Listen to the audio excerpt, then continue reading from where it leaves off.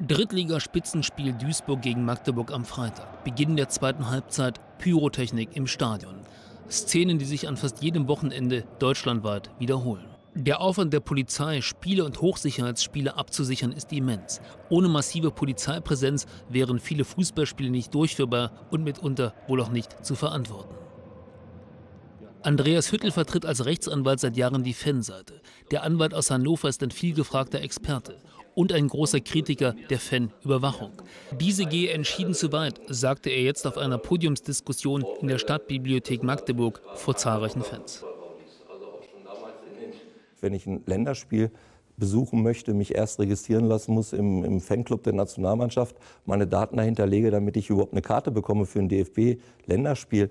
Äh, ich muss dafür Daten hergeben. Und was der DFB zum Beispiel damit macht mit diesen Daten, äh, weiß kein Mensch. Werden die im Vorfeld der WM 2018 in Russland an russische Behörden weitergegeben? Man weiß es nicht. Im Innenministerium von Nordrhein-Westfalen wird seit 1994 die Datei Gewalttäter Sport geführt. 11.000 Fans sind in ihr derzeit deutschlandweit offiziell registriert. Andreas Hüttel spricht von teilweise bis zu 15.000 registrierten Fans.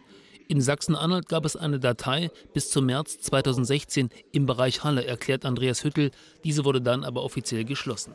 Das Problem, ein Fan muss nicht unbedingt gewalttätig sein, um in diese Datei aufgenommen zu werden. Neben Beschuldigten und Verurteilten kann man auch als eher harmloser Fan in ihr landen.